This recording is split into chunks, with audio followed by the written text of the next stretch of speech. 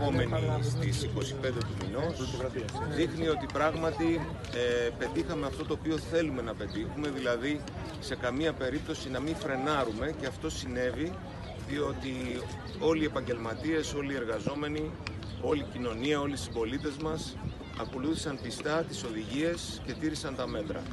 Νομίζω ότι αν προχωρήσουμε έτσι, ξεκινώντας αυτό το βηματισμό, θα επιταχύνουμε ακόμη περισσότερο καθώς μπαίνουμε και στον Ιούνιο. Ευχαριστούμε πολύ. Καλή, καλή, Πολύ ωραία. καλημέρα.